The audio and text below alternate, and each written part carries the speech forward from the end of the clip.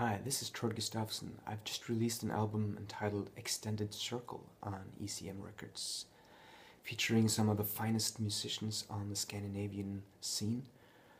And I'm really excited about this album. I think we've really um, arrived at um, a musical language and um, a kind of build up and overall atmosphere that really summarizes what this band is all about. It's about contemplative approach to music, but also about emotional intensity and lyrical beauty in every song and in every moment.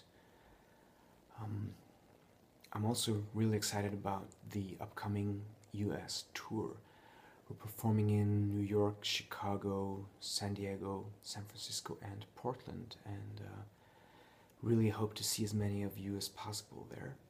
It's to be our first time performance ever in Chicago at Constellation, so yeah, really looking forward to visiting all these different but equally inspiring venues. And the first one is in St. Peter's Church on Manhattan, February 21st. See you there.